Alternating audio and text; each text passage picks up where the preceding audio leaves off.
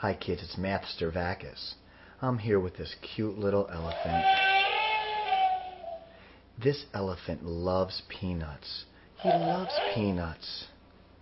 On the first day, he ate one peanut. On the second day, he ate two peanuts. On the third day, he ate three peanuts. On the fourth day, he ate four peanuts. On the fifth day, he ate five peanuts. If this pattern continues, by day eight, how many total peanuts did the elephant eat? By day eight, how many total peanuts did the elephant eat? Good luck. Click pause and solve the problem.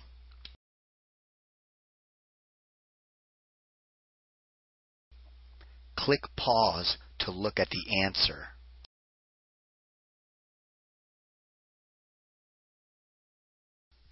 Be aware